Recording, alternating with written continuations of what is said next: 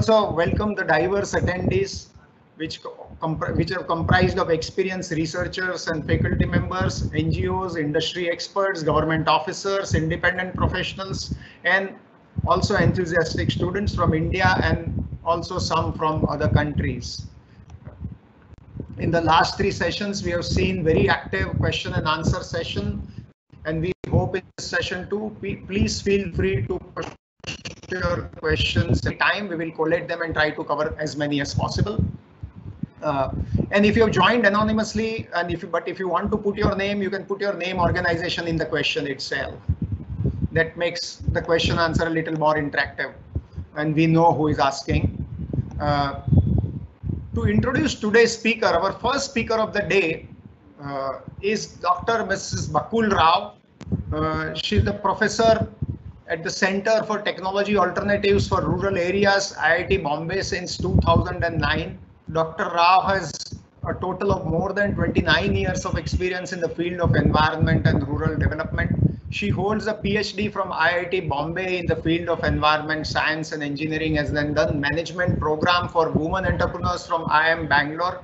She has been an environment consultant with various multilateral agencies like World Bank, ADB, INEP, GTZ, and she also works with different companies to provide solutions to environmental issues, uh, including environmental compliance, corporate risk sustainability, field assessments and remediations, LCA, that's life cycle assessments, ISO 14000 and CDM activities. She has also been a consultant for environment management and policy research institute Bangalore and uh, an institute providing the policies research for government of Karnataka, as well as a project coordinator for Karnataka State Pollution Control Board Bangalore Research and Development Division. So without delay, I would invite uh, Dr. Bakul Rao and uh, take our uh, main uh, presentation. Thank you.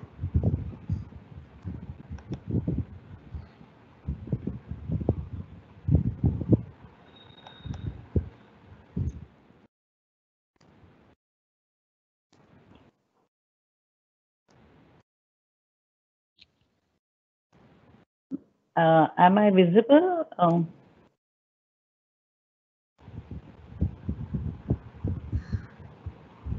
yes, ma'am.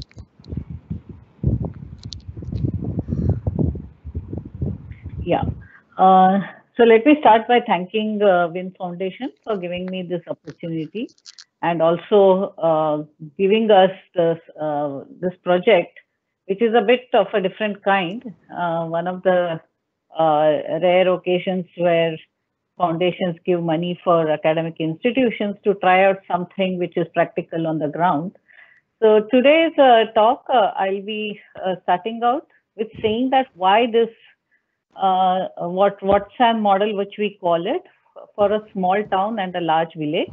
This is in the context of the state of Maharashtra, and um, more to do with how did we go about actually trying this work and how did we try to encompass many stakeholders into this uh, project. So there, there are a bit of new things which we tried out, which we'll be uh, discussing today. But we'll first go back to the old problems which many of us face in the field of water sanitation, or even in the case of planning for uh, small uh, small towns and large villages. Having said this, um, uh, like I said, uh, uh the way India defines uh, the urban body, uh, here I start by defining the urban body because India does not have a proper definition for what is a rural body or a rural area or a rural village. So eh, the India's criteria for urban bodies is that all places with a municipal, municipality, corporation, cantonment board or a notified town area is a urban body. Or those criteria, the following criteria, if the place meets it, that is, if it has a minimum population of 5,000, at least 75% of the male working population engaged in non-agriculture pursuits, and a population density of 400 persons per square kilometer. So this is the definition which we use to decide whether it is of a rural nature or if it's of a urban nature. So basically the definition is for urban, but whatever is not falling into this criteria is called as rural. So interestingly, uh, let us see on the, the table on the right side, which talks about Maharashtra's total population. And we are uh, showing you across three decades, 1991 census, 2001 and 2011 census. If you see the percentage of urban population and uh, rural population is around a similar 45% uh, to 46, 40, 45% uh, in 2011, and thereby the rural population also looks similar. But interestingly, if you see the uh, even the uh, sizes, uh, what we see in the population in the municipal corporations or the councils are also the similar. But in 2011 census, first time got the uh, definition of many places came under Nagar Panchayats. And that's where the interesting thing starts that the Nagar Panchayat started coming into the scene. Also, the census towns, if you see the number percentage of population in the census town has slowly increased. So what does that mean? So while uh, municipal corporations, the number has significantly gone up, the municipal of uh, councils have uh, uh, more or less, okay, they have slightly increased, but we have five Nagar Panchayats. The cantonment boards have remained the same. And the last one, which we see is the census town, which increased from 88 number in 1991 to 278. So why this is of interest is, so these towns the census actually declared them as towns because they met the criteria which is given on the left side. That is 5,000 population, 75% of male working in uh, non-agriculture pursuits, and a density of 400 persons per uh, square kilometer. This is very interesting because uh, the way once the census declares them as towns, eh, the prerogative is with the state governments to declare them either as a municipality or a, a, a council or a Nagar Panchayat. So defining them as urban is uh, left to the state governments. And interestingly, in the state of uh, Maharashtra in 2014, a lot of villages overnight became towns. Now, this is where the challenge actually uh, multiplies because we have those uh, villages which were behaving like villages, which had the capacity, the infrastructure, and uh, also the governance as rural. But suddenly now they are into uh, uh, urban, and there the requirements, what should be the services of these towns, goes uh, very different. So that's where this interest started. That what what happens? I mean, is it that overnight? Uh, the child becomes an elder or is it a transition which happens in these towns which are not at present being addressed uh, because finally the services which we provide depends on these uh, criteria. So we did an exercise to see what will happen to Maharashtra state and in the year 2025 what sort of uh, systems will come. So this was specifically done because unlike the municipal corporations, municipal councils, Nagar Panchayats, all come under the Commissionerate of Municipal Administration. And these are quite significant, whereas the actual uh, capacity or the manpower which is available at the Commissionerate or Directorate is quite small. And all of a sudden, they are going to have, if the government decides to convert all the census towns into uh, census towns into actual towns, uh, into urban systems, they have really to take care. So it is at this stage when we will start thinking of providing the services, providing higher levels of services because they are urban. Also, what type of designs and what type of technologies we give them to that current situation also matters. The right side is a population ranges so the, this comes to why we our interest started in these large villages and small towns. So we said that, okay, the designs which are required by small towns may be similar to large villages because the governance may be whatever, the rural or urban, finally the people need their services and they uh, need to get quality services. So if you see on the right side, the uh, population uh, numbers of uh, the census towns and municipal corporations, So the numbers, so in the uh, population in thousands, if you see the majority of them, yeah, so uh, census towns and municipal councils, these are the ones which they don't get focused. So the people, the, the size of the urban local body, also the power, the taxation power with them, the, um, uh, the taxes collected with them, we can still assure that they may get some services, but these are the small uh, and uh, small uh, towns and large villages, which are usually don't don't get the um, enough uh, infrastructure to run their services.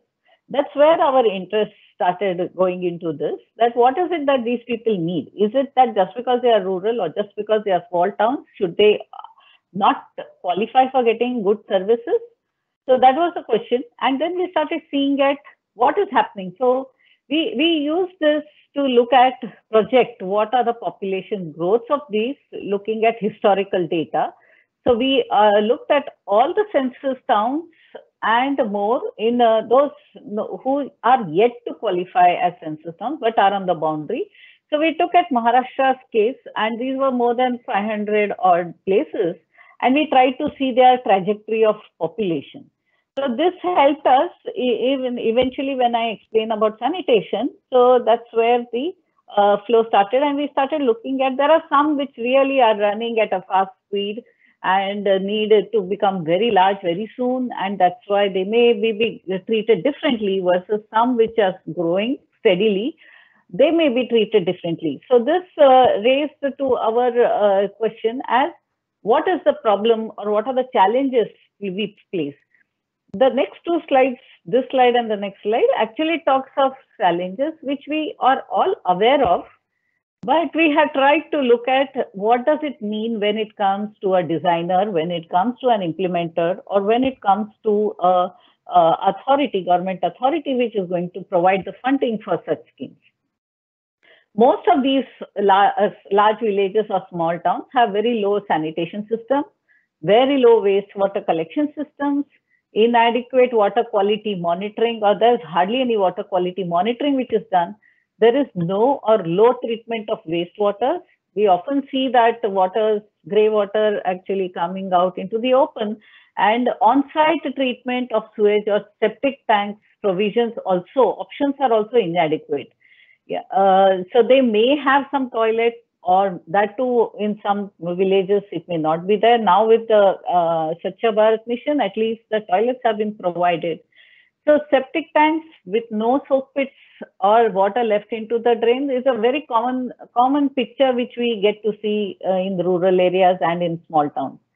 Uh, added to that, if in case there is an on-site uh, treatment system of septic tanks, there is no fecal sludge management uh, uh, uh available, and interestingly, if the town comes for some design, usually it goes to some consultants who focus on conventional sewer systems. Even the schemes of the government actually focus many a times on conventional sewer systems. Can a town or a village which does not which does not have the capacity and manpower to manage its water supply and other services can um, can it manage a conventional sewer system? We found that it's really impossible and we have seen many failures in the country. There's also a focus on centralized treatments. So the thing is you collect the water and then have a very conventional treatment system which may not be necessary or may not be possible for these towns and there is inadequate operational funding. The, schemes of the government which are given often give money, capex funding, but hardly give any operational funding. So the operational funding, it is um, uh, it is said that the uh, towns need to actually get it through their taxation. And then there is a question of whether tax collection happens, whether taxation is adequate, should it be taxed more. So the, also, uh, often these towns hardly have an engineer they may be having a, a common engineer with some other towns. Uh, so there is a dearth of manpower and there's a dearth of manpower with experience for both who can understand the design and operate the system. So often we see linemen, they know where the pipes are, which pipes to be opened at what time, and often people are at mercy. But for when it comes to sanitation, there is hardly any uh, capacity at the towns. And of course, there is inadequate technical support from the centers to the states to the towns. Like I mentioned, even the, mm, the directorate or the commissionerate of municipal administration, which is there in every state, uh, also needs to build up its technical support to provide to these towns. And of course, they are all the uh, standards are being prescribed and the uh, towns are supposed to meet them. Added to this is a long queue of other uh, issues in water supply and solid waste and stormwater. Why, why the thing is, as the space becomes smaller, so we have common roads where you have to provide for water supply and stormwater and sewerage if we have to lay it down. So the problems actually then aggravate. Each sector has its own problems, but when we actually try to see, so we often see water pipes going through uh, stormwater drains which contain sewer water. So, so the thing is, these challenges which are there, uh, so the approach which we thought is, I'm not going much into these uh, issues over here, but the thing is, can we actually look at these sectoral uh, issues, water supply, sanitation, stormwater, and solid waste? So in most of the villages, in most of the towns we visit, even the larger towns, you will see that a lot of funding is spent every May on cleaning the drains, which were meant for stormwater, which also, uh, because the solid waste management is not proper, and it contains sewers, grey water, sometimes black water as well. And through that, you have water supply uh, pipes going through. So this is seeing that picture. Now the challenge is that as a designer or as an implementer of a uh, ski how is it that we need to design? So how to design for systems where the boundaries are changing in the sense that these are growing villages, growing towns, where the adjacent uh, area starts adding up and then the central facility which is there is meant to give connections to the other boundary areas. Populations, some of the towns are very fast uh, growing up. Yeah, with changing densities, the moment the town planning or the development plans uh, come up, then the uh, uh, FSI goes up and the densities goes for a uh, toss. And then you have the living standards expectation that now it is an urban area or now that we are, we, we are, can afford things, we want more water, we want better services. And then there is this government uh, uh, governance regimes, which every five years, which are changing. And of course, there is cha changes in the environmental services requirement, regulations and standards. There are changing technologies, there are changing capacities. So if you can see it's so dynamic that we as a designer have to look at temporal and spatial situations and then designer and uh, maybe possibly predict a situation where uh, right now we are not able to imagine and then also design. So having kept this uh, thing in mind, we the approach which we took was rather than looking at individual water supply or sanitation or stormwater and uh, um, uh, solid waste, we thought we should actually maybe design it individually, but try to keep the others in mind when we are designing. So we actually approached the WIN for this, that can we get an idea to, can we get a uh, uh, funding to actually design looking at a urban area as a system or a large village as a system. So it is a system of water where we actually uh, do the interconnection of all of these to see that uh, can we manage the water and the solid waste, water in supply, stormwater and uh, storage uh, to understand and thereby actually improve the water situation so that when the uh, uh, when the water is treated and let into systems, the next in line with the systems, they don't get hurt by the whole thing. Having said that, we were trying to look at, uh, if you can recollect the earlier uh, um, uh, the figure which I showed in population increase of various towns.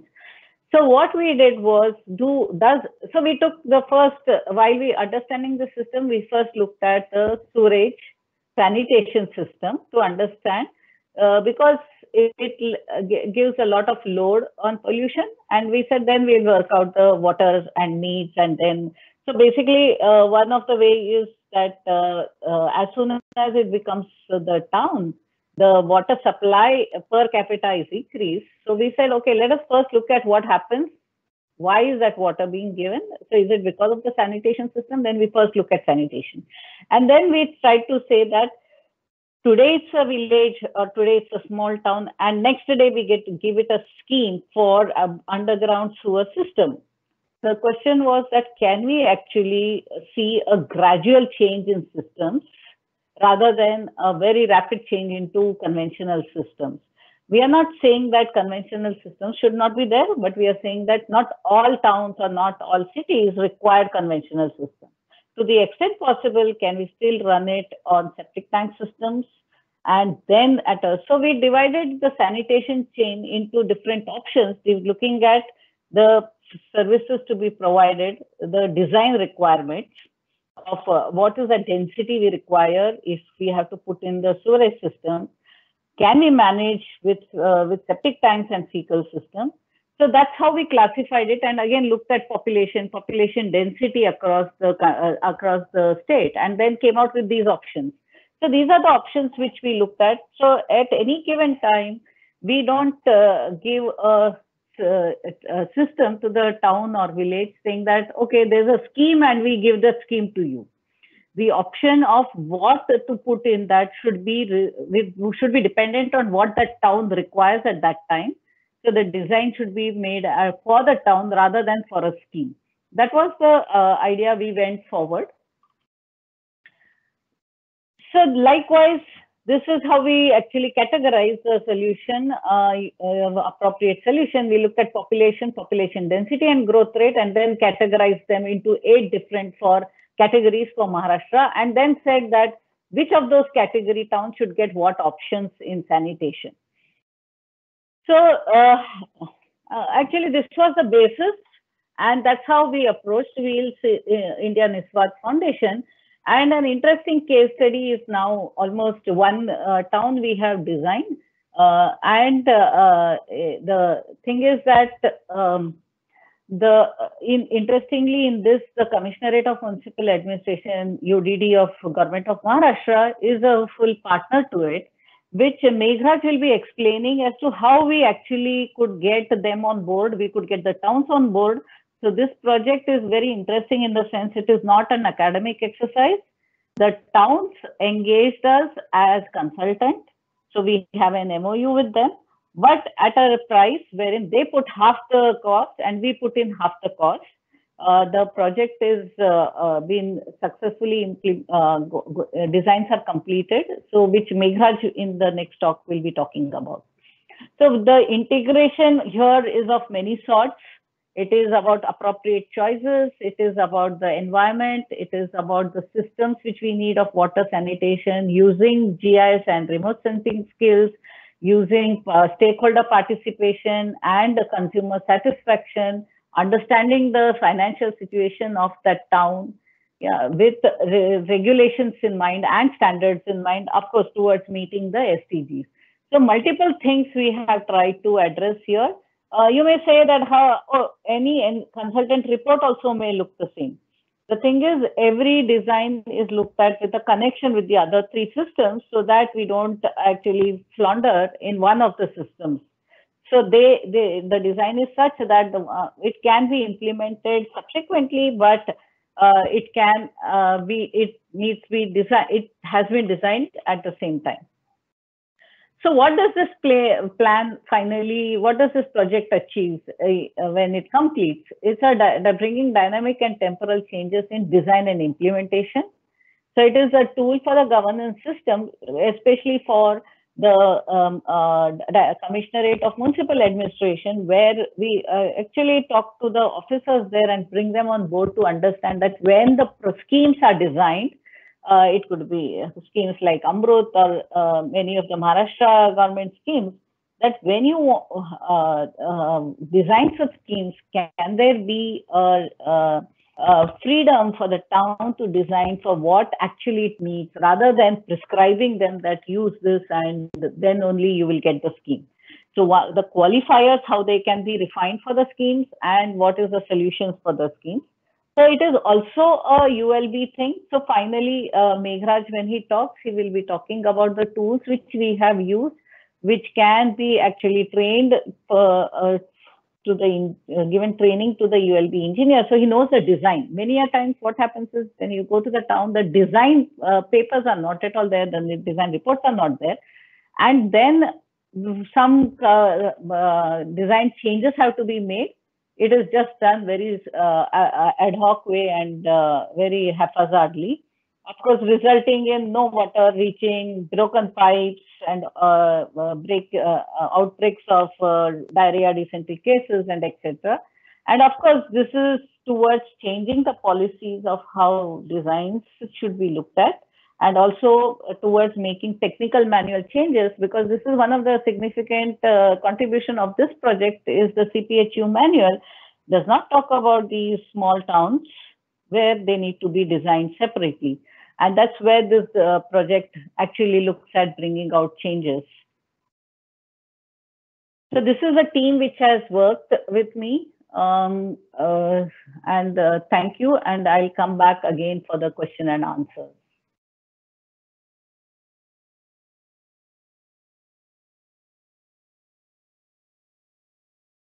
Um,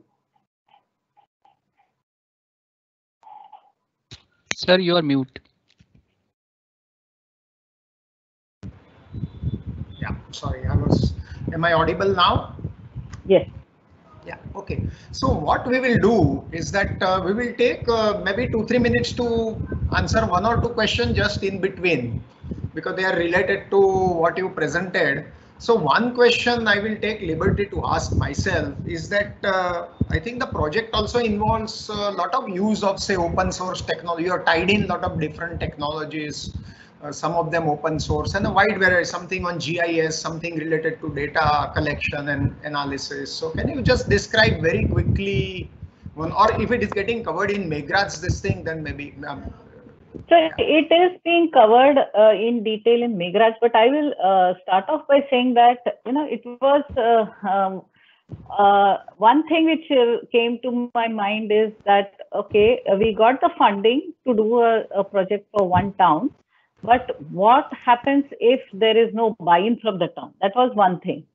Yeah, so uh, the the uh, you, uh, the funding which is required to design for all the four is much, much larger than uh, what we actually got. So the consultancy fees or consultants or even to do the field work and all requires much, much more funding.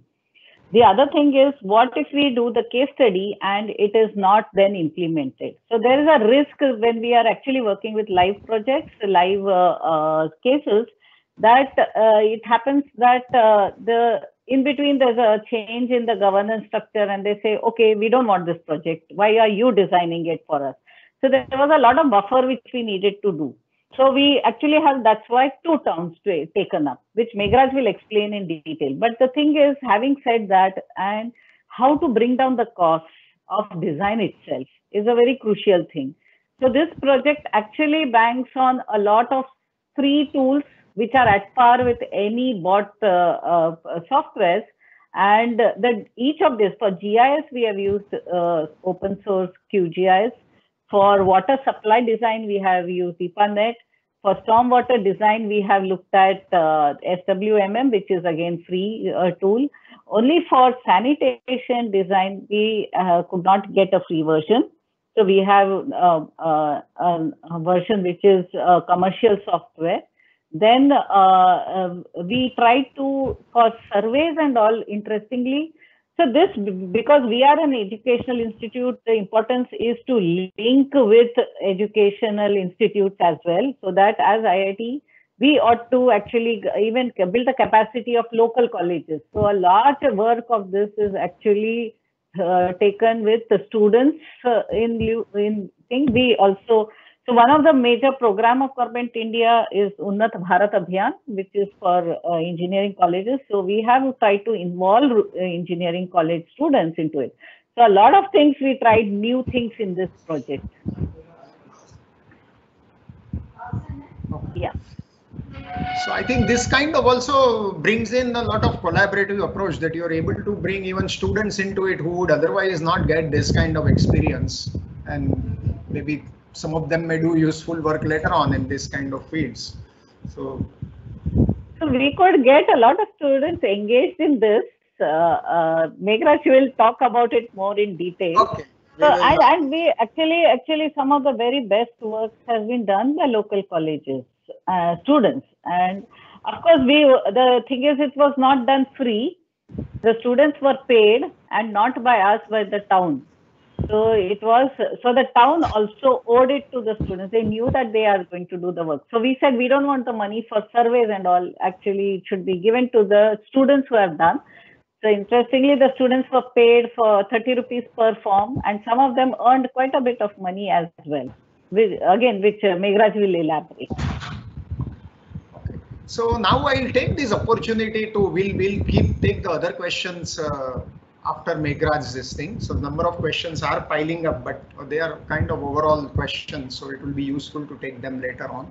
Uh, so let me very briefly introduce uh, our next uh, the Meghraj. Meghraj Garad is a project research associates with uh, CTARA IIT Bombay since 2017. He completed his masters in technology and development at CTARA IIT Bombay and before that he, he has done graduation in civil engineering. His main areas of work comprise of design and modeling of uh, water and sanitation systems, technical verification of design for wastewater treatment plants, third-party technical audits, and evaluation of various development projects implemented by government such as Hilly Area Development Program and Prime Minister's Rural Road Scheme. Currently is working on the project design of water supply, wastewater, conveyance and treatment, stormwater management, and solid waste management with an integrated approach for an urban local body. Uh, I'll uh, welcome uh, Meghraj to and begin his presentation. Thank you. Hello, am I audible? Hello? Hello, am I audible? Okay, I'll start. Uh, so thanks Paresh sir and thanks ma'am. Uh, as uh, described the problem of water supply, sanitation and all other uh, interference like solid waste and uh, stormwater. Those are the environmental systems for any town or village as the problems associated with these four systems explained by Professor Bakula, and she explained the need for the planning, integrated planning of these four systems. So uh, with the funding sponsorship from WIN, we took an opportunity to design integratedly for one of the large villages or small towns in Maharashtra. So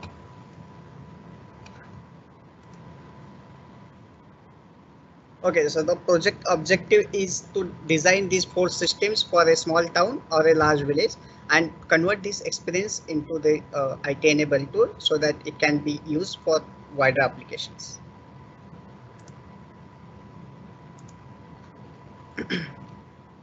So uh, in general, overall methodology consists of involving the WIN Foundation for the funding approach and involving the gov local government institutions such as Directorate of Municipal Administrative Urban Development Department Government of Maharashtra for taking up the pro, uh, town into study so that that project can be implemented after the design and all these things. So we approach the DMA, selected the towns. The process of selection of town I will explain a bit later. Thereafter, we map the various layers which are required for design and uh, design of all these four systems. Thereafter, we uh, did the sampling of the different materials such as uh, water, waters for the testing of the quality of the uh, uh, drinking water and wastewater. Thereafter, we did the social survey of 100% households in uh, the selected towns. After that, we completed the civil survey, which is the basic need for design of any uh, infrastructure schemes such as water supply scheme or roads or anything. and finally, we design. Finally, we design all these three systems, stormwater, water supply and uh, sewerage with the help of different softwares.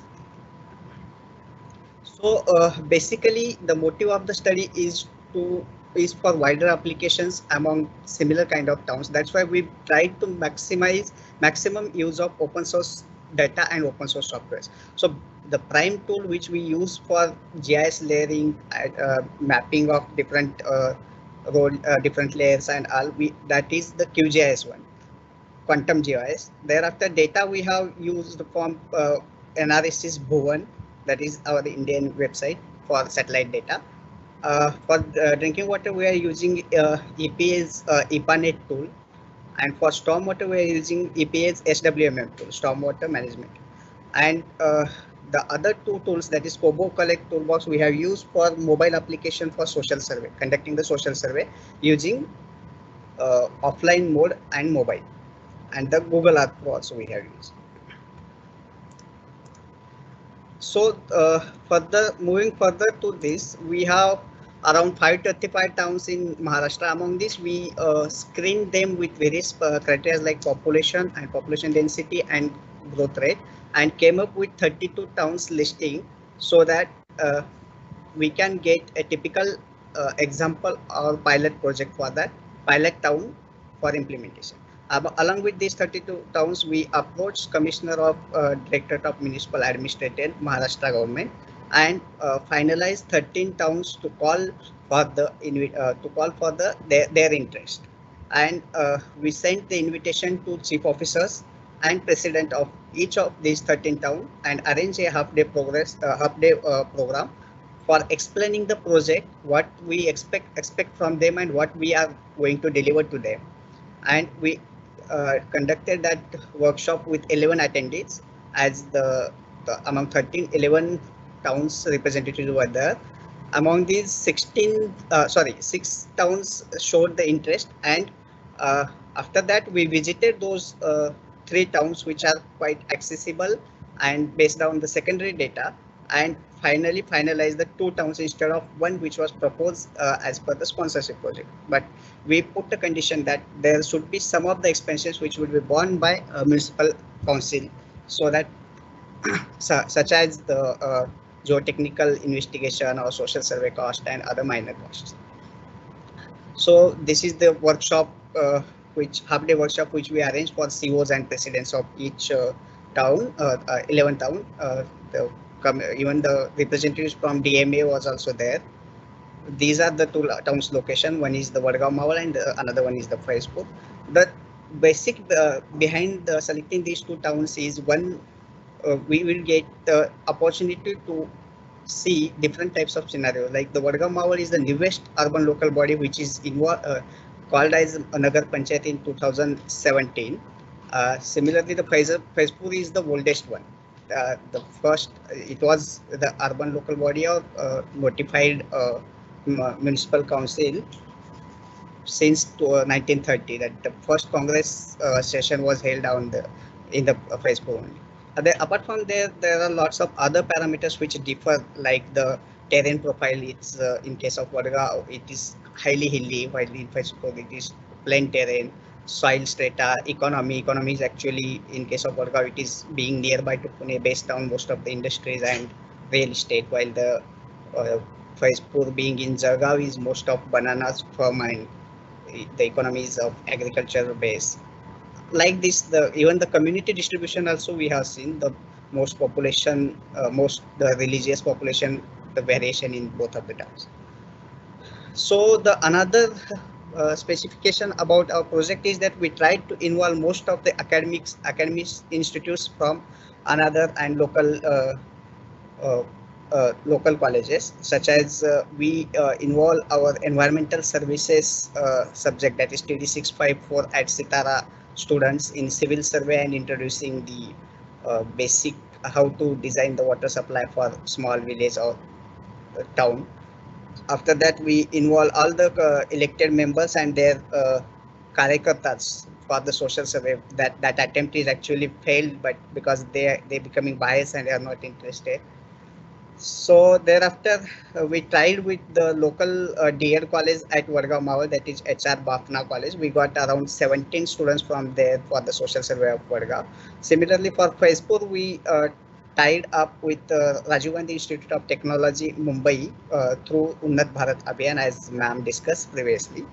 Uh, right now, we are uh, collaborating with College of Engineering Pune for geotechnical investigation of the towns in case of pipeline. And usually, the tenders for water supply uh, or the sewerage goes with uh, including such cost and lump sum tenders. No one does the special in, uh, geotechnical investigation, but that will be uh, good for the precise estimation and design also we have involved the town planning's other wing that is uh, sorry urban development's other wing that is town planning department because the Vadgaon Mawal that uh, does not have development plan yet. So without that it's very difficult to lie the uh, uh, pipeline or layout for the systems. So we tried to involve them also. These are the first ice breaking workshop we held with the municipal council members and our TD654 students in Vadgaon Mawal. Further to this, we uh, uh, we did the sampling of the water sources or water tap water or distribution system in the Vadgaon Mawal. We did it in four phases and we collected all types of sample that is river sample, tap water sample, water treatment, uh, immediate after water treatment plant, uh, borewell or open well samples and wastewater where the uh, wastewater gets accumulated. So the, these are the sample locations. This is the method how we collected the samples. We analyzed these samples with respect to 38 parameters in our environmental lab. We took samples from there with the freezer condition in four to six hours because it's uh, four hours distance from here. But the interesting thing we found that almost out of 53 samples, 51 samples were contaminated with MPN, E. coli. So the only two samples which are immediate after chlorination units found with without E. coli. So these are the few of the snapshots of social survey conducted in Vadgaon Mawal as well as in uh, Faizpur town. So we conducted almost 100% households uh, social survey and we involve all the students uh, from both the institute that is RGIT and uh, Bafna College. Few of the outcomes of social survey based on the respondent, you, you can see here that the almost the 77% are getting tap water while 41% are getting uh, less than one hour water and we interestingly we measured the flows at many places and we found very less flow almost uh, 83 uh, sorry 44 percent of the population of Vadgaon receives less than 80 LPCD with the measured flow and this hour of supply. Similarly, uh, as I told that we found E. coli, even the people or residents also does not have uh, faith or uh, trust in the water quality. So you, you, you can see on the right hand side, 83% of people treat the water at household at their own cost, despite they pay the, the water bill to municipal council similar observations were made about the sewerage, the toilet status, uh, solid waste collection scenario, segregation scenario. Many more are there, but I am putting very uh, little here because of the time doesn't permit. So we conducted a civil survey using uh, total station, the total civil survey of around 55, 50 to 55 kilometers length uh, in the uh, Vadgaon Mawal and we face lots of problems uh, during civil survey. Usually consult uh, the designers don't go to field and don't do the civil survey, but uh, they only put, uh, take up the ready-made data. But actually, when you you do the civil survey, there are lots of social hindrances uh, comes on the side. This is the uh, contour map we generated from civil survey. Uh, similarly, we assessed the existing water supply system. The there was no document available for any of the component of the water supply system, not even the pipeline layout, the pipeline diameters. So we had to do exercise with the people who were who are in the system itself, like the wallmans and all this. So we arranged some meetings with each wallman, ask him where is the which wall, uh, which diameter pipes are there at what time you leave uh, you operate those walls and all these things and we found that there are three water sources where the water is coming to Vadgaon Mawal, but still they are deficit of water. There are there are two WTPs. One is one is one among them is the newest one, functioning we can say, but not efficiently as you see. You can see the results of the water testing, uh, water testing, and there are five ESR of different capacity. Ideally, if we look at the design perspective, five ESR are sufficient to supply the water to the whole town of 20,000 or 25,000, but the their location is so odd that at many places the head doesn't get as per the required even we found that at some places they join uh, the larger diameter pipes ahead of the smaller diameter pipes as per the demand of the people or the the local uh, representative local elected as per the local representatives. So these are the few of the uh, exercise which we did for uh, assessment of existing system. Here you can see that how they have distributed on the right hand uh, left hand side uh, bottom. I have shown few of the connections. Those are going through gutter and they are giving the connections through that itself. And not there is no system of primary, tertiary or secondary kind of distribution system. So simply they are taking out whatever they want uh, the diameter from the main line or whichever it may be. So the another issue regarding the forecasting of population, as per uh, municipal council, they have 6,000 registered properties. 6,000 registered properties and they were claiming they have 26,000 population. But when we actually did the survey, we found it around 17,000 with the 400 to 500 uh, households uh, close, we can assume that around 18,000 we even projected the same population from uh, 2011's population and we found it around 18,000. Uh, accordingly, we projected with different methods and arrived at uh, 2049's population as 37,000. And it was very difficult to convince the people about the projection of 2050's population as 37,000 because they were claiming like we have 6,000 uh, proper registered properties, how it can be possible. Well, because there are lots of empty properties also. So the major challenges we face during civil survey and water supply design are the the uh, interference of the existing inefficient system and treatment plants, even the population forecasting challenging and convincing them. The the other thing is that the distribution pipeline we cannot put as per the demand because the, the growth is so haphazard that in some of the uh, agriculture areas few of the apartments are coming up where there is no uh, even the government roads and no DP plan was no DP plan is there. Even the difficulty we face uh, in case of design, usually we follow the process that calculation of ER, ER elevated storage reservoir based on the demand. But here the existing ESRs are there, so we have to design it reversely considering how much catchment area that ESR can serve with respect to demand as well as with respect to elevation so that it can get the required head. Similarly, the, uh, I told uh, you regarding the civil survey what we faced that people who, whose private land was there, they are not allowing to do the survey, civil survey also. And in crowded uh, area also the, the, roads were narrow and that is also not allowing us. Uh, that's why uh, the a centralized uh, distribution system cannot work in uh, because not because of the population but because of the undulating terrain because the terrain have lots of highs and uh, ups and uh, lows. So we zone them in different zones. We plan it. Thereafter similar kind of uh, difficulty in case of wastewater design.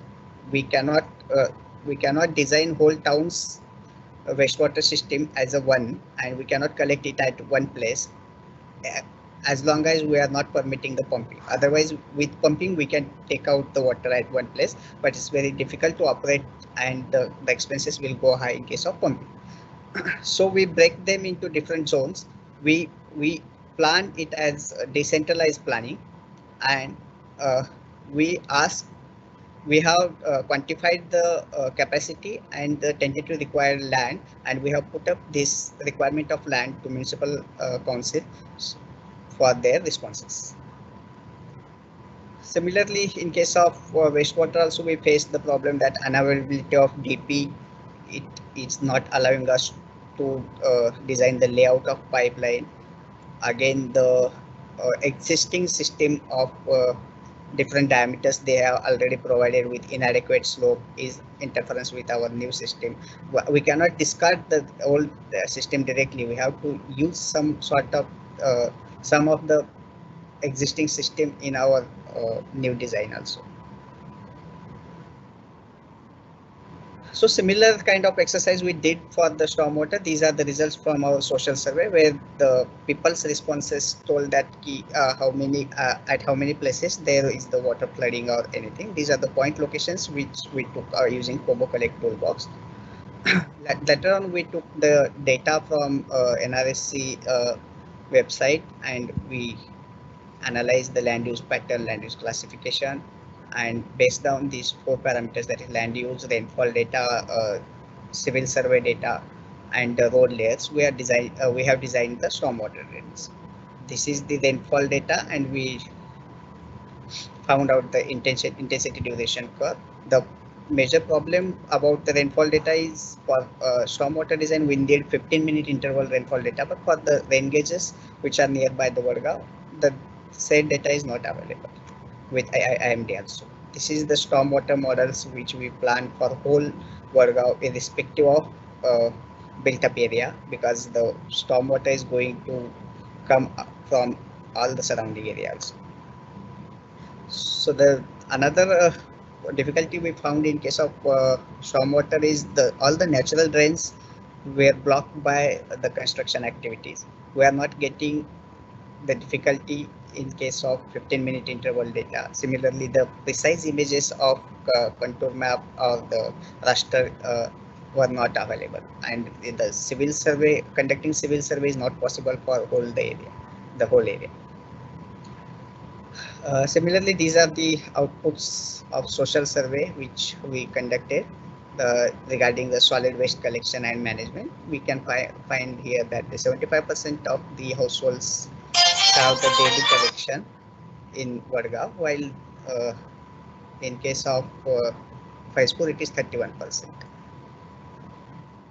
In the seven days experiment we did uh, in Vadgaon for calculating uh, for estimation of the solid waste. Uh, you can see the results on an average we got 170 gram of uh, household waste, while in case of uh, again we did same experiment with whole municipal council uh, because we weighted all the vehicles which collect the daily waste we found it is around 7000 kg per day. And we calculated it for uh, household but it also includes the commercial demand and all other commercial waste and all others. So this is also the one of the exercise which we did with along with the uh, drivers of the waste uh, waste collection. We noted all the points where he halts and which route he opti uh, which route he follows here we found that the route optimization what was not there. As per the driver's convenience the routes were decided. The other thing is many uh, many times vehicle is overloading or few of the vehicles are not going full. Uh, during uh, experiment it was found that they were comparing among themselves and they were trying to overload their vehicles so that they can show their work as a, a bit more and overall council doesn't take uh, into the optimization of route or the vehicles uh, operation and all these things. So there are lots of troubles with the inefficiency of the fuel and optimize uh, routes. Yeah thank you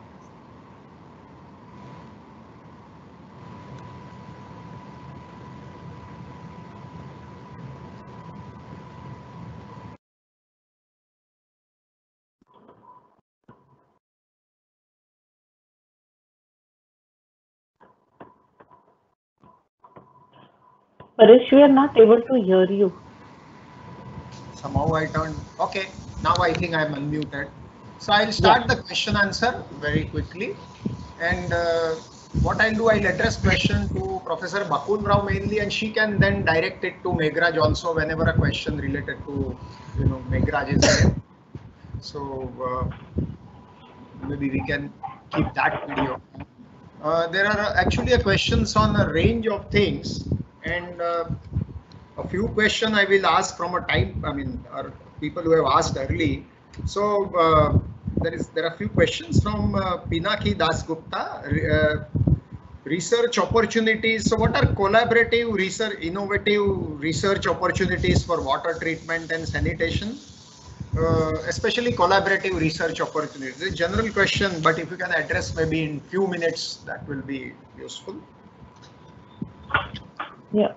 So uh, one, there are multiple uh, ways we can look at. Uh, one is the way India is urbanizing, or even the uh, rural sector uh, who need more and more services. Like the Swachh Bharat mission in the first phase has focused more on toilets, but subsequently there will be a lot of work which is needed of this kind to uh, address the issues which will be resulting in sanitation and of course the uh, uh, cases of water quality. Water quality is one of the bigger things which we have not as a nation addressed it. So the uh, water quality and uh, water so that leads to water treatment. So if you see we have iso 10500 as a uh, drinking water standard. But if when you go to the water treatment plants which are there in the uh, in the towns of course even in the larger cities as well we have hardly looked into the water quality, you know, of those which, uh, especially with this large population that we have, uh, usage of detergents and uh, of course the runoffs from fertilizers and all. So there's a lot of work which is still needed to be done as at the national level, at the state level. And there are very innovative researchers we need. It is not a very typical way of looking at treatment there could be, and of course, the COVID situation has given rise to some uh, more uh, interesting questions as to uh, when the cases of uh, the virus have been found in septic tanks, in sewages. So, what would be its repercussions eventually? So, there's a lot of uh, research opportunities. The, uh, there are a lot of actually even the government bodies now are looking at working with the uh, educational institute. So that's where the Unnat Bharat Abhiyan actually started. So uh, in Maharashtra, uh, we, uh, it is this uh, what is called as Unnat Maharashtra Abhiyan. It's a very interesting thing that uh, so the to improve the quality of services given to these towns in terms of the consultants and all. So there is a new mechanism which has come in place where the under the Unnat, Maharashtra, Maharashtra Abhiyan, uh, the colleges can work along with uh, the uh, towns as their consultants. So eventually this is a tying up of educational institutes to work with actual uh, case studies and actual ground solutions. So that becomes all the more interesting. So there is a lot of scope which is there possible both in innovative and collaborative research. Okay. So one quick uh, follow on that, and I think that uh, how, what are the some of the do's don'ts when you have a lot of different kind of stakeholders you try to involve in this collaborative research? I want it very quick because there are other questions following. Yeah. Yeah. So the, uh, actually the challenges are manifold in terms of uh, uh, one question which is there of quality of these uh, surveyors or quality of the work which is coming. So, uh, so the to achieve that quality, we need good training. So these students whom we have involved, we had long training sessions for them. And also, also the thing is now, how do we ensure the quality? And they work as professionals. So it is not just training them of how to do survey, but actually how to behave professionally. Uh, yeah. So this is a learning which we actually invested quite a lot in the students' uh, training part. Yeah. So also the quality of uh, work. Eventually, there's been always a hand holding with our team, continuous, uh, uh, uh, continuously to actually achieve, achieve this quality. So quality of data uh, is very much crucial, which we actually try to address. Uh, did I answer your question or? Yeah, part of no, I think that's one of the major yeah. part. And of course, because you are trying to work in this kind of research, collaborative research, you work with students, then you work with the local uh, communities, local government bodies. So obviously, there are a lot of things which you have to balance, and uh, still the result should come. That was the idea. There are a set of uh, two, one from Pinaki uh, Das Gupta and another from our uh, IIT KGP colleague Indrajit. Uh, they are linked in my way, new view. Uh, so Pinaki asked whether, you know, team at CTARA, did they feel that the present status of water drain is more like a sewer line? And on, with all the kind of illegal constructions which take place anywhere and obviously near the drain, so that so is a different approach is required for storm water drain. And then Indrajit, I think, kind of gives the lead in, I feel that. So it says fast growing smaller towns often have unmanaged town planning and obviously, and uh, it is often that there is minimum space for installation of sewerage network. So in such a case, would it be pragmatic to go for decentralized uh, you know, treatment units and probably Yes. that can work for stormwater drain also some kind of decentralized system instead of taking it all. So what's your thought process having done this study? So one is uh, taking a bit behind, you know, uh, historically, if we see the, the villages have always been an organic growth. There's no planned growth. And these villages become towns. And so the center of the village will always remain congested. Even in Bombay, we have so many villages, old villages, which are still congested. And as the town or the city grows, we, they start looking like slums. So there is that challenge always there with uh, villages that there will be an inter- internal uh, inside of the village which is always very congested. So there we have to look at very different ways. One of the things which Meghra shows is showed is the zoning for that sanitation zone was especially to do that. Now, uh, coming to Pinaki's question that uh, is there uh, storm status of stormwater is more like sewer lines? So firstly, there are no sewer lines placed. Secondly, whatever is the stormwater is wherever the spaces they got, they did some gutters to take away the water, which in case there's a heavy rainfall just goes out. And we find flooding every time. So neither the stormwater is designed, neither the sewer lines are there. So the design, so that was an opportunity for us that when we see these smaller congested areas in any town or any village or even in city, how do we design? Its design should be much differently thought of than the area which is actually planned. Now coming to the thing that there are all un- unplanned growth which has happened. Interestingly, even in our case, that was the reason why we brought the town planning uh, authorities on board. We said, okay, the town of Vadgaon was to go in for a development plan. We actually brought the town planning, as said in Maharashtra, there's a town planning scheme. So take that as well, wherein actual uh, spaces, then they can do allocation of these la- lands and other things. And that became a bit of a political issue. They finally said no. We uh, the government was ready. So so interestingly, the DMA or the commissioner DMA comes under UDD two, and the town planning comes under UDD one. Even the state government, but we could get one part to work with the other but the the politicians refuse to take up the so these are challenges which keep coming but we continuously have to train them uh, that look this is in your betterment. Coming to the thing that uh, is it pragmatic to go for decentralized uh, 3 and 4 yes it is uh, that is the reason why that uh, chart was shown the figure was shown and looking at growth and subsequently when we said category uh, 1 to 8 which we did for towns was exactly for this that when it is we we actually sub classified these areas into what category they are even for one town it will not happen that everywhere it is same. Depending on the uh, uh, electoral wards electoral wards are very different and your natural systems will be very different. But, but we try to do the sanitation zones especially to understand where can we put uh, really small uh, septic tank based systems then a few places where these decentralized you know uh, what you say of three four households can be put. And places where you know you can have a borewell a small bore system.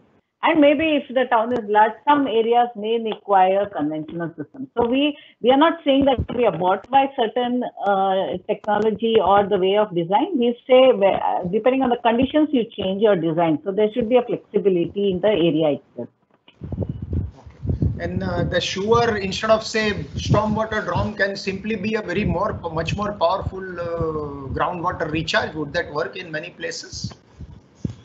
the uh, please come again. The stormwater. Yeah, yes, I'm saying instead of stormwater storm water, if you do a very good effective system of water, groundwater recharge at a, in a decentralized manner, would it work? So yes, so the way we looked at stormwater design, we have uh, percolations at places. So where the rainwater infiltration will happen. It is not that just take the out, take the water out of the system. It is important that the water gets into the groundwater, into that system. So uh, basically, improves the water quality also. yes, or, Yeah. uh, yes, it charges. So I think uh, these two uh, kind of questions were this thing. There is a question from V Ashok at IIT Uh, he's talking about possibility of constructed wetlands for wastewater treatment for small towns and villages with population greater than 5,000. What is possibility, feasibility? Have you looked at it? Yes, yes. So it is possible. Yeah, it is one of the options we are looking at. It depends on, uh, so the technologies for this scale, decentralized scale, depend on where the land is available, how much can be given. So depending on, on that, constructed wetlands can be one of the options. Yes. Yes, I think that question was also a similar question was asked during uh, Professor Ghangrekar's webinar, IIT KGP, where they said, okay, can't we do root root zone treatment?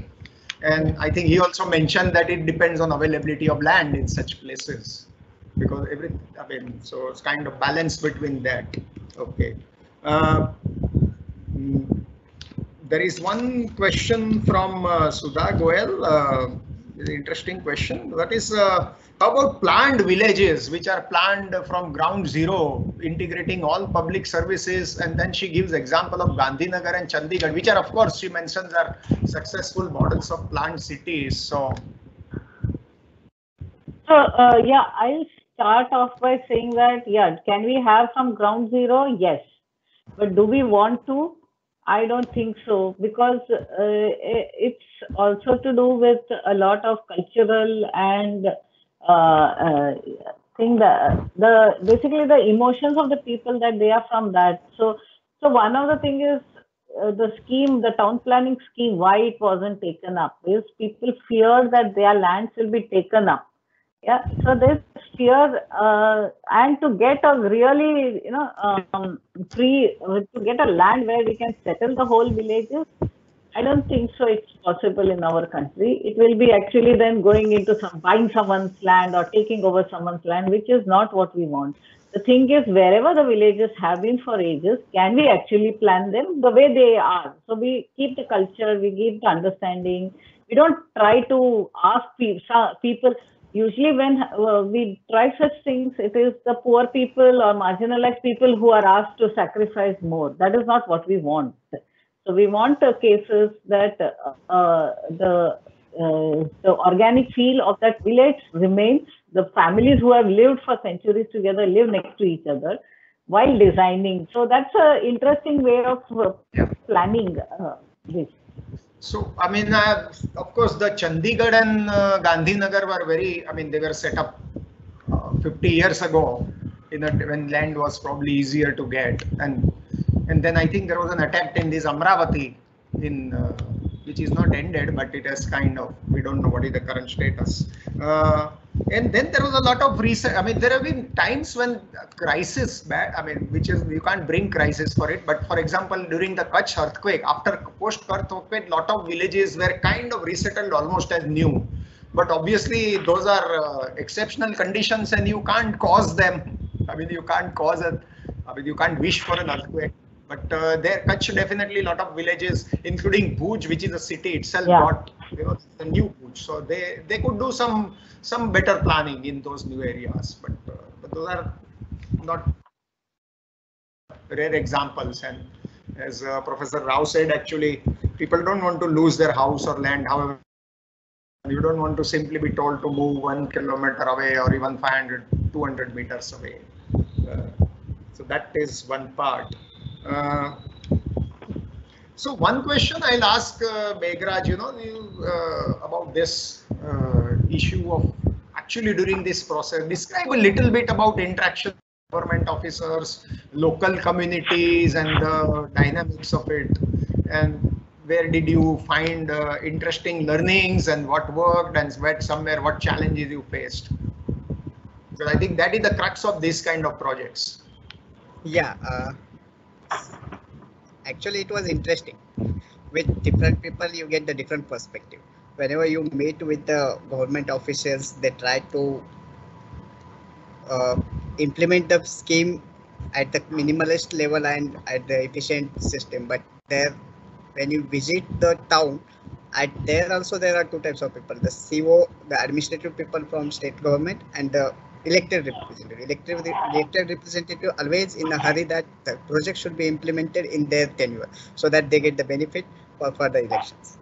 But the, the I, I mean even I also told them that the thing is that whenever there is a quality delivery, there always needs some time.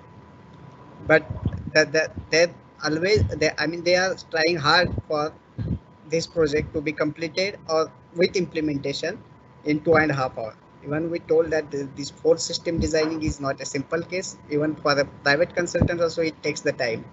In case in case particularly in case of your town it is taking a bit more time because of the terrain profile and existing systems hindrances. At the same time when you look at the household level or the uh, social survey interaction with the people they always have the bad conversation about the elected representatives. They always tell that those people are not doing anything for us or they are conducting the surveys for their benefits or they are taking our information. So it's very difficult to convince them that we are taking this social survey information for the town's uh, need and all these things. At many places they rejected us. They are they are just refused to give the information. so, uh, Parish, can I add something? Yes, yes, please. Yeah, because we did 100% uh, survey, uh, almost 100% survey. In fact, during the election times, the elected members started pestering us that you give us the data for that so that we know who stays where and we can uh, actually go for our uh, thing. So then we said we cannot give you the data of the people. It was used for a certain purpose you know your town. So, so very interestingly, you know, they they could see the uh, usage uh, because we uh, for every time we did anything, we actually showed them that this is what we have done. So we have had numerous meetings with them, with the politicians. So this uh, give and take was always there. That look, we have done this. So they saw the using of data and then we said you should better have better systems for data management of your town so that you can service them. The other thing is during this period, the chief officer got transferred. And because she saw this uh, in, uh, this uh, project taking really uh, good shape, she got transferred. She got herself transferred back to Vadgaon. So that's also an interesting thing which we see in bureaucracy also. Okay. There are some questions which are slightly related actually. You know, there is a question from uh, Apurva. I think he has been a regular attendant attendee of these sessions and he has been very active in asking very relevant questions. So he's saying why IIT Mumbai is not coming forward to do exemplary work for societal benefits. A very valid question. Uh, of course, the CTARA was formed for that, and uh, but the country is very big. But anyway, I think Bakul Rao would be in better uh, space to, you know, you answer a little bit. You can introduce CTARA, take the opportunity to kind of, and then uh, he asks quality of life, air, water, space is continuously deteriorating. So is it not responsibility of educational institute to show solution through collaborative work. So some of the challenges of collaborative work uh, outlined. Uh, and he then adds that madam major STPs are all not not working and non-functional. Uh, and then he adds one more question. I think this question is a separate question. Please talk on scientific principles of organic degradation of sewage. Uh, so I think maybe first of all you talk a little bit about CTARA and then uh, these challenges of this collaborative work in you know what CTARA's objectives are. And yeah, even uh, that's what leads to this STP being non-functional. Yeah. Uh, it's not that people are bad at ground level, but there's just too many, too much of complexity in the system or whatever. Yeah, I'll leave it to you to answer. Yeah. So thanks, Apurva, for touching that uh, thing, that why we are not doing. Yeah, uh, so okay, let me start by saying that it's not that IIT Bombay is not doing. IIT Bombay is doing quite uh, quite many interesting things. Uh, so that's how the Center for Technology Alternatives for Rural Areas was formed in 1985. Yeah, so as uh, as there is a maturation of our democracy, so there is a maturation of our institute as well as the center. So uh, we uh, initially it was that can we provide something to people on ground? So through gadgets or through some technologies which are relevant for the people in the rural areas. And subsequently it was felt that why should we uh, give rural areas something which we think is good for them? Shouldn't they be actually wanting what urban people have? So that's one thought which came in and also uh, the situation was ripe that the, the, development sector per se needs engineering and science people. That's how CTARA started uh, to, in 2007, uh, 2007 an MTech program in technology and development. Yeah, so that's exactly why you're saying why we can't do. So IIT Bombay, few faculty cannot take it. So we have now an army of our MTechs and PhDs going out and doing the good work. So uh, the thing is that we take any engineer or science background to, uh, uh, to work in the uh, area of development. So you have uh, you have to understand that the training which goes in uh, making social scientists versus the training which goes into making an engineer or scientist is very different. So the mindset. So our engineers actually are made quite aware of the governance system, the policies, the societal needs, and also the uh, so, uh, social survey techniques and all. So a lot of the training goes in those two years. And we have now over uh, last 13, uh, almost uh, 12, 13 batches of our MTechs which have gone up we are working very closely with the government. We are very working very closely with the NGOs and also the local uh, gram panchayats. So anyone who comes to us with a problem, we actually try to look into their problem. It's not that we so, but we ourselves, the number is so small that we can't be spread everywhere. So the next thing what uh, IIT Bombay has been doing is uh, actually this uh, two schemes which are of very much relevance is the Unnat Bharat Abhiyan and Unnat Maharashtra Abhiyan. It is that why should only IITs be? Why not local colleges also come up to the quality that they can service the society needs in the, their local area? So IIT Bombay, CTARA is playing a major role in actually building the capacity which is actually give, living in the villages or living in the towns they always come to us in case of help. So that's how we are trying to uh, do the things. Yeah. So coming to the thing on STP, there are yeah major STPs are not working. Yes, because of many reasons. Because uh, there is no capacity to run it. There is no funding to run it. There, there, there are no people who can actually run the show. There are multiple things. The technology is outdated or does not get the water coming to the STP. There are multiple reasons for it. And that's where one of the whole work is about the decentralized treatment systems, smaller systems which can be managed locally rather than seeing that the sewage water, the grey water is taken somewhere out where I don't see, but it causes a nuisance uh, to someone else. So that's where the whole thing of bringing in decentralized systems is very much important and also the scientific principles of organic degradation. Sewage per se, yes, we can do very good degradation of it. But you have to understand that as a society, we have a lot of uh, uh, man-made chemicals getting in, into it, it could be detergents, it could be soaps, it could be the leftover of the drugs which we ingest. So there is a lot of complexity which is added to today's sewage. sewage which needs to be looked at in a very different way. Yeah. So those are so, some of my thoughts.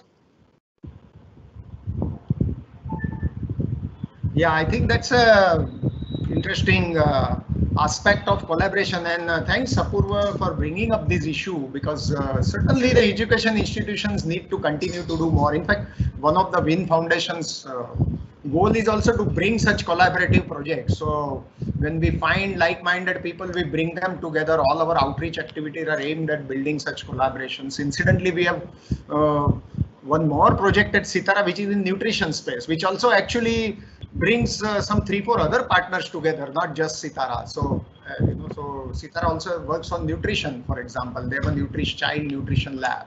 So that's that's not the topic today. Uh, anything you want to talk on organic degradation of sewage? Yeah, so actually it's a large topic. So left to itself, the sewage can be easily degraded, but the chemicals which we are adding into those are quite a challenge. And uh, even after treatment, uh, we, some of them still remain in the systems, which go downstream, forming water uh, supply to some other uh, towns downstream. So uh, I think it's a larger uh, area, maybe. Um, can talk to him later or something like that? Is that? Yeah. Uh, so, okay, actually, uh, adding to Apurva's question, actually, Professor Meera Mehta had uh, said, of course, she is aware of IIT taking a lot of steps and this thing. She is familiar with your work also. So she is saying, uh, we would like to know more about how IIT work with other academic institutions in Maharashtra. Okay. So, um, like I said, we've been working with uh, major uh, engineering colleges under the Unnat Maharashtra Abhiyan. So, the under the Unnat Maharashtra Abhiyan, the collectors have been giving them work in the sense of it could be uh, civil, it could be environmental services, water, sanitation, and others. So many of them uh, actually they are trained by IIT Bombay. So also at individual faculty level, we wherever we go, the first thing we do is which is the local college, and we start associating. So we do associate with a lot of colleges in Maharashtra, uh, and some of our faculty has been, have been associating with other states as well. Uh, so uh, CTARA, we had worked with not only engineering but also for testing water samples and uh, other things, we have to rely on a science college. For helping out with social survey, we have to look at an arts or a commerce college. So wherever we have gone, the first thing is go and tie up with them. And it's not just that you do our work it is also to help build their capacity and then take them under the uh, Maharashtra uh, uh, Maharashtra Abhiyan and tie them up with uh, the collectors and the uh, uh, towns and villages, of course. Yeah, uh, just add one thing that uh, actually IIT Bombay has a very interesting project called Spoken Tutorial Group, which builds and uh, one of the shortcomings uh, of our system and that is one of the very major contribution for this you know STP units not working is we actually don't have a low level lower level skilled people who can main, main, uh, you know skilled people I mean without them being engineers or architects or something so non-degree skilled people we have very few and that leads to you know every time things breaking down and we don't train enough people. And spoken tutorial uh, has some some elements of skill building is built in. The way that uh, program is uh, built in and it allows a lot of collaborative work. And in fact i think maybe one of the things we should do professor mehta and maybe bakul rao and all that that we should try to see whether we can build water training. I had also talked to common water training uh, tutorials under it because you need probably thousands of and maybe lakhs of people at, at the village level to main, build such systems, maintain small systems, recharge systems, all that. So, uh, and that, that spoken tutorial can be a big uh, help in that. And they're very open, it's an open source program. So, this thing. So I think maybe uh, she has said like to explore some collaboration for FSSM and sanitation related activities. And I think on the skilling part, maybe we can do some good work also sure. together build some collaboration. And uh, uh, Pinaki Dasgupta has asked one question. Uh, uh, how can LCA be utilized as a bridge between scientists and policymakers? Yeah, I have a solid uh, answer to that, but though not in the area of water and sanitation, but it was it's in the where we used LCA for the Pradhan Mantri Gram Sadak Yojana. So we in fact actually uh, built an LCA tool for the PMGSY team in Delhi. And so the thing is, uh, uh, all these roads which are made in inside the country, uh, the length of those roads are much more than our national and state highways. But the thing is now to build a road, a lot of things comes from outside, be, be the tar or be the, uh, uh, you know, uh, even some cases concrete or so the distances which these material come and also the substitution of the topsoil or the local. We did develop a LCA tool which was environmental, social and uh, economic uh, LCA tool for the PMGSY of government of India. So government of India has also started, started to recognize that there are no the needs for this. Yeah, so uh, we we did some work on in the area of sanitation as well, looking at life cycle assessments. Uh, in the area of uh, so life cycle assessments, both environmental, social, and economic, which we do for uh, sanitation systems, especially the sewer, uh, the sewerage and the uh, sewage treatment part, very much important because there is no payback in the sense you don't get any returns having put in these systems. The returns from these projects are in terms of health benefits, in terms of environmental benefits. Yeah, also it has to do with the improvement in standard of living. So how to do those costings that India actually puts an investment into this is very much important. And that is one of the thoughts which we have started working on that use of LCA to actually, so when the uh, sanitation plan or the design is said that this is the investment, they, they say that, okay, we will sell the water and get back the payment. Yeah, so there needs to be some quantification of what is the health benefit. Finally, it is this is social cost benefit. It's not just commercial cost benefit. So LCA actually plays a very important role in this.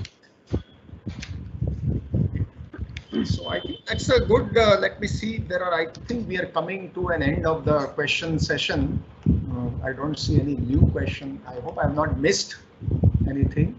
Um, of course, people have asked for more detail on spoken tutorial and uh, uh Apurva has made a remark, sewage was not under lockdown for even one hour. So, I mean, they are very much interested in this organic degradation. But I think maybe we can all work together and interact much more. That is what this webinar although this is limited time webinar, but we can continue interaction uh, amongst the community which we are building to see how we can grow. And particularly, I think the skilling part is extremely important for really implementing anything at a grassroots level. And uh, there is one interesting question that what are the chances that the GOM will implement the plan that you Oh yes, sorry, I missed it completely. Ah, yeah. Yeah. That's, that's uh, that is exactly what we are pushing for. So, so Vadgaon Mawal, the uh, interesting is the MLA is wanting to meet us so that he can sanction. So the town uh, president is after us that once you give the design, we can have a joint meeting. The MLA is interested in looking. So even the politicians are interested in looking at these cases uh, which are new because it interests them that they have brought in some new system. So we are trying to, to actually talk to them and get it. So we have a buy-in from the UDD, we have a buy-in from the town, and now we are looking at the politicians as well. So hopefully, fingers crossed, this will go into implementation. Okay, so I think there is a there was one question from Professor Ghangrekar about uh, data accuracy when it is collected by student, and so I guess it means what is the monitoring, validation, or do you do supervision or something? I mean, I guess you answered it partly, but do you want to add anything? Yeah, so we uh, there were a lot of training went into it, and along when they, the students were being uh, uh, doing the survey, there was an entire team from my end also working along with them yeah, not just supervising, but also working along with them. So the checks were there internally, not after. And also the because they were paid, it made a difference. So it made a difference. They were paid 30 rupees per form. So, so that means you need to be involved with them a lot to really get good data. Yeah. Yep. And uh, there was one reference to circular economy by Pinaki Dasgupta. I think, uh, of course, that is a topic by itself. So yeah. I think voice, yeah. Oh, your voice is gone, Professor Rao. Yeah, so the thing is, yes, sustainable water management, uh, of course, considering circular economy concepts is very much there. So basically, uh, the thing is, once treated water, should it be then uh, returned back as so dual pipe water schemes and all those talks are there. Uh, whether they will be uh, really economic or whether people will pick it up is the question. But yes, it's a very interesting area to look at it.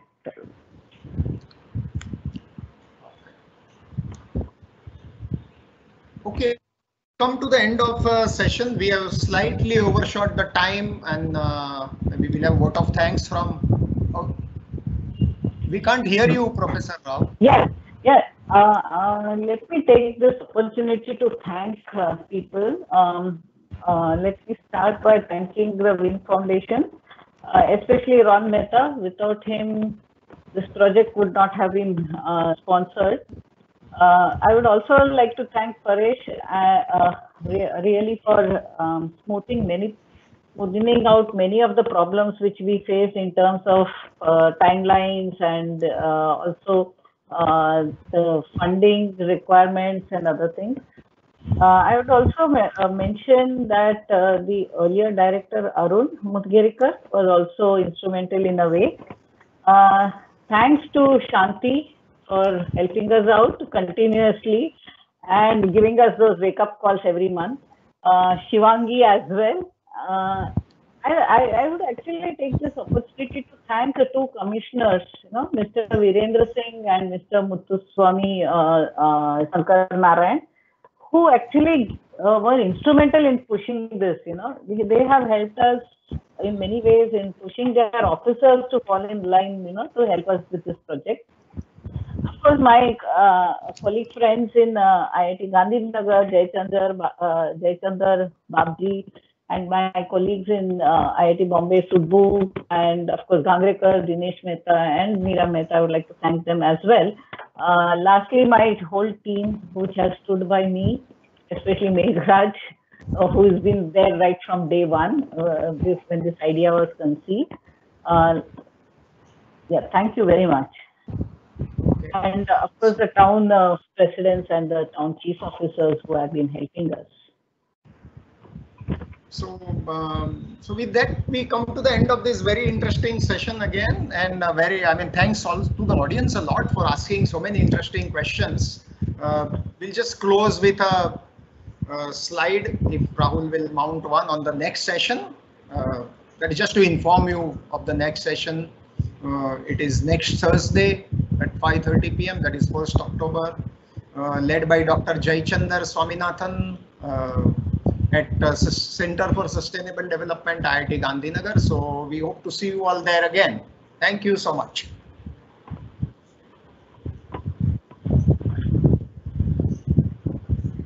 Thank you very much.